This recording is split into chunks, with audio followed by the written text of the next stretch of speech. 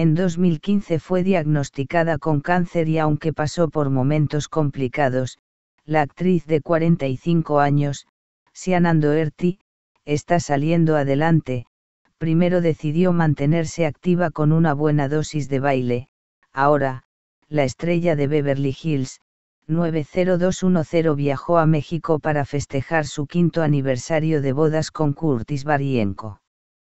Sacando provecho de las redes sociales, la actriz compartió sus mejores momentos en tierra azteca al lado de su pareja, que incluyen una vista hermosa, festejos con cerveza, la cosmopolita Ciudad de México y alimentar a una cebra. No te olvides darle me gusta, comenta, comparte, suscríbete para más vídeos, sígueme en mis redes sociales.